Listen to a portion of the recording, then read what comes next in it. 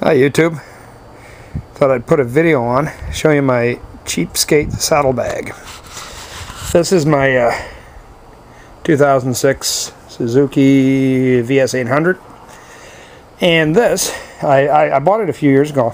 I don't have any saddlebags and I'm frankly too cheap to buy new ones.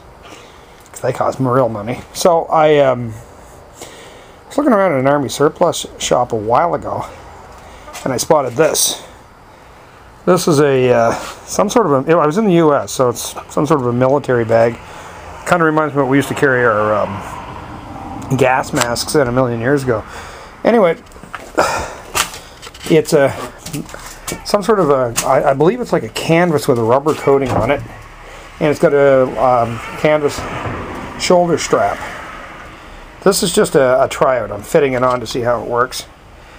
Um, so what I did was I fed shoulder strap through the passenger's little grab uh, strap here. Around the back here, under the seat, and I tightened it off at both ends. It's not entirely pretty considering my bike is blue and that's sort of a olive green color, but just for functionality, I think it would, would actually work.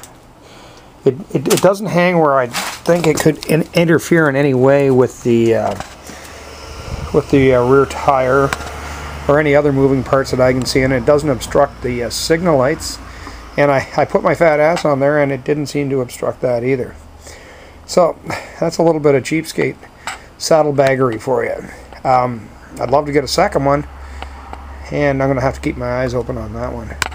The oddity is I was in the military myself, but I don't ever remember a bag specifically like that. Maybe somebody out there would know what it is. Anyway, uh, I think it might work. I used to have a set of those throw over type saddlebags years ago, and they worked pretty good. But to be honest, I think this one actually is a little more secure. So there's your cheapskate saddlebags for you. Have a good day.